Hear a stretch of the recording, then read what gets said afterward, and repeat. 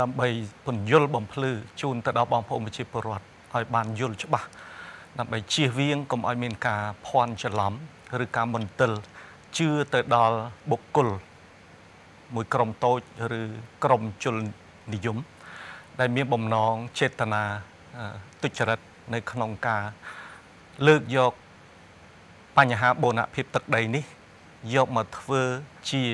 មហិច្ឆតានយោបាយ ដែលចង់បំផ្លិចបំផ្លាញសង្គមជាតិពាក់ព័ន្ធថ្មីថ្មីនេះខ្ញុំក៏បានឃើញដែរគឺនៅក្នុងគណនី TikTok មួយដែលបានលើកឡើងអំពីថាការបោះបង្គោលព្រំដែនហ្នឹងគឺចូលមកក្នុងដីខ្មែររាប់គីឡូហើយមួយទៀតនេះក៏ខ្ញុំក៏បានឃើញដែរនៅក្នុងគណនី Facebook របស់បុគ្គលឈ្មោះសំរងស៊ីដែលបានបង្ហោះថា បង្គោលព្រំដែនចេះដើរតើជាកំហុសអ្នកណាខ្ញុំចង់បញ្ជាក់ជូនអឺបុគ្គលទាំងពីររូបនេះក៏ដូចជាចង់បំភ្លឺជូនបងប្អូនប្រជាពលរដ្ឋជនរួមជាតិទាំងអស់ឲ្យបានជ្រាបថាកិច្ចការងារព្រំដែនដែលរដ្ឋលេខាធិការដ្ឋាន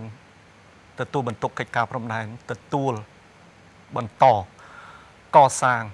កិច្ចការដ៏សំខាន់ដែលមាន សារៈប្រយោជន៍បំផុតសម្រាប់ជាតិនេះ គឺ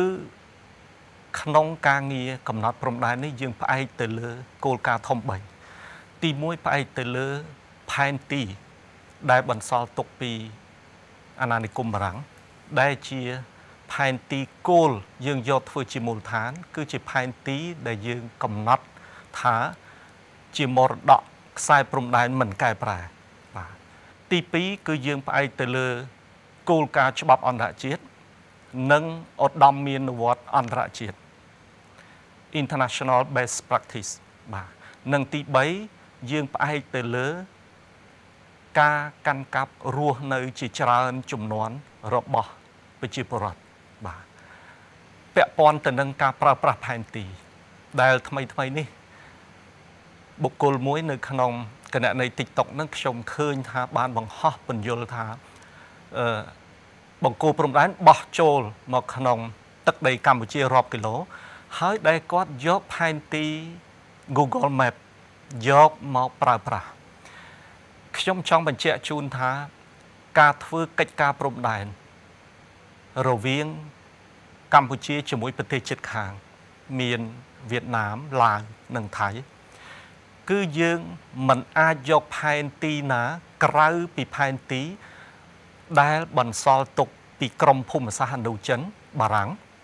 ដែលបានបោះពុំជាផ្លូវការហើយកំណត់ព្រំដែនរដ្ឋរវាងប្រទេស កម្ពុជាជាមួយនឹងវៀតណាម កម្ពុជាជាមួយនឹងឡាវនិងកម្ពុជាជាមួយថៃបាទអញ្ចឹងបន្តិចទៀតនេះខ្ញុំនឹងជូនទៅលោកស្រីបូរ៉ាដើម្បីបញ្ជាក់ជូនបន្ថែមអំពីបច្ចេកទេស ក៏ដូចជាការប្រើប្រាស់ផែនទីมันអាចយកផែនទីណាមួយក្រៅពីផែនទី ដែលជាមូលដ្ឋានដូចខ្ញុំលើកបាញ់បាញ់ទេ គឺយើងធ្វើជាមួយវៀតណាមយកផែនទីបន1លើ100,000របស់ក្រមភូមិសាស្ត្រអនុចិន ដែលបន្សល់ទុកឲ្យយើងហើយភៀកគីកម្ពុជាក៏ដូចវៀតណាមឯកភាពអនុវត្តប្រើប្រាស់ផែនទីនេះអញ្ចឹងខ្ញុំបានឲ្យក្រមបច្ចេកទេស បញ្ជាន់យកមូលដ្ឋានខ្សែផែនទីមរតកនេះ ហើយបញ្ជាន់ជាមួយនឹងខ្សែផែនទីដែលបង្ហោះដោយក្រុមហ៊ុន Google គឺអត់ត្រូវគ្នាទេបងប្អូនបាទសូមពុកម៉ែបងប្អូនទាំងអស់ពិនិត្យមើលបន្តិចទៀតយើងនឹងបង្ហាញជូនថាតើខ្សែផែនទីដែលបង្ហោះដោយយកពីក្រុមហ៊ុន Google Map នេះ តើវាស៊ីគ្នាឬក៏វាដើរហ្នឹងមិនស្របគ្នាមិនស៊ីគ្នាជាមួយខ្សែផែនទីដែលយើងយកធ្វើជាមូលដ្ឋាន គឺខុសគ្នាប្រៀបធៀបទៅបន្តិចទៀតយើងនឹងបង្ហាញជូនហ្នឹងគឺខ្សែ Google Map ជាមួយនឹងខ្សែផែនទី ដែលជាមរតកអាណានិគមនេះផែនទីបនហ្នឹងគឺខ្សែផែនទី Google Map ដើរចេញចូលចេញចូលបាទដូច្នេះហើយ ការងារបោះបង្គោលព្រំដែនយើងមិនអាចយកផែនទី Google Map យកមកបោះបង្គោលទេណាទោះជាឧបមាថាភភាគីម្ខាងចង់យកមកក៏ភាគីម្ខាងទៀតមិនទទួលស្គាល់ដែរគឺជាគោលការណ៍ច្បាប់អន្តរជាតិដាច់ខាតត្រូវតែយកផែនទីមូលដ្ឋាន ដែលបន្សល់ទុកពីអាណានិគមបារាំងក្រមភូមិសាស្ត្រនូចិនបាទជាផែនទីគោលអញ្ចឹងខ្ញុំចង់បញ្ជាក់ជូនថា ទាំងនៅក្នុងគណនី TikTok ការនិយាយហើយគាត់បំភ្លឺទៅដល់គាត់ថាគាត់បានចុះទៅមើលហើយគាត់ទៅមើលហ្នឹងគឺគាត់យកខ្សែផែនទីរបស់ Google Map ចុចបាទវាមិនត្រូវគ្នាជាមួយនឹងមូលដ្ឋានខ្សែផែនទីរបស់យើង ប្រើប្រាស់ក្នុងការកំណត់ព្រំដែនជាមួយប្រទេសជិតខាងទេ ទី2នៅក្នុង page របស់បុគ្គលសំរងស៊ីខ្ញុំចង់បញ្ជាក់ជូនថា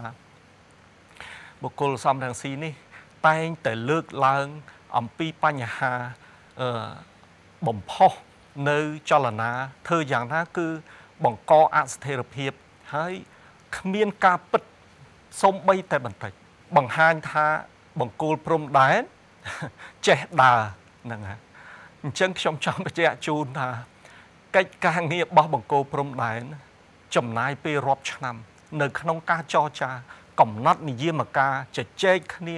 តាំងពីលើផែនទី តាំងពីនៅលើដីជាក់ស្ដែងហើយយើងមាន ចំណុចនិយាមការជាង3000ចំណុចនិយាមការរវាងកម្ពុជាជាមួយវៀតណាម នៅលើខ្សែព្រំដែនប្រមាណ1270គីឡូម៉ែត្រនេះយើងសម្រេចបានគឺ84% ទាំងខ្សែឯកភាពគ្នានៅលើដីជាក់ស្ដែងទាំងការបោះបង្គោលបាទហើយយើងបានបោះបង្គោលចំនួន2047បង្គោលបាទចំនួនបង្គោល2047បង្គោលនេះ គឺមានបង្គោល3ប្រភេទបាទសំខាន់សំខាន់ ទី1គឺបង្គោលមេបាទនិងទី2គឺបង្គោលបំពេញបន្ថែម ប្រភេទបង្គោលបំពេញបន្ថែមនិងប្រភេទទី3គឺបង្គោលតម្រុយព្រំដែនបាទដែលបង្គោលទាំងអស់នេះគឺយើងបានបោះនៅលើដីជាក់ស្ដែង ជាការឯកភាពគ្នារវាងភាគីទាំងពីរហើយក្នុងការលំអិតពាក់ព័ន្ធនឹងបច្ចេកទេសនៃការបោះបង្គោលក៏ដូចជាការប្រើប្រាស់ផែនទីបាទផ្លូវការជាមូលដ្ឋាននោះខ្ញុំបន្តិចទៀតខ្ញុំនឹងជូនទៅលោកស្រីបូរ៉ា ដែលជាមន្ត្រីជំនាញបច្ចេកទេសជាន់ខ្ពស់កិច្ចការព្រំដែនដើម្បីបញ្ជាក់ជូនបងប្អូនជនរួមជាតិបាទអញ្ចឹងខ្ញុំចង់បញ្ជាក់ជូនដែរថាបងប្អូនប្រជាពលរដ្ឋទាំងខ្ញុំ ទាំងបងប្អូនប្រជាពលរដ្ឋទាំងអស់អ្នកណាក៏មានគំនិតស្នេហាជាតិស្រឡាញ់ទឹកដីដូចគ្នាប៉ុន្តែសូមកុំជឿទៅលើបុគ្គលមួយចំនួន ដែលមានគំនិតទុច្ចរិតខ្ញុំមិនយល់ថាគាត់គឺជាខ្មែរឬក៏ជាអ្នកណាហ្នឹង ដែលតែងតែបង្កបញ្ហា គឺគ្មានសិលធម៌ណាគ្មានមនសិការគ្មានអីទេធ្វើយ៉ាងណា គឺបង្កចលាចលឲ្យមានភាពវឹកវរឲ្យមានការយល់ច្រឡំគឺសบายចិត្តបុគ្គលបែបនេះខ្ញុំចង់ជម្រាបជូនថា គឺយើងមិនអាចណាជឿហើយសូមកុំឲ្យជឿតទៅទៀតអញ្ចឹងដើម្បីបញ្ជាក់កាន់តែច្បាស់ នៅលើផែនទីភាពមិនស៊ីគ្នារវាងខ្សែដែលមាននៅលើផែនទីបន1លើ100,000ដែលយើងយកធ្វើជាមូលដ្ឋាននេះហើយនឹងផែនទី ដែលបង្ហោះដោយក្រុមហ៊ុន Google នេះវាអត់ស៊ីគ្នាអញ្ចឹងខ្ញុំជូនសូមជូនអឺទៅលោកស្រីបារាដើម្បីបញ្ជាក់ជូនឲ្យកាន់តែច្បាស់ទៅដល់បងប្អូនប្រជាពលរដ្ឋទាំងអស់បាទ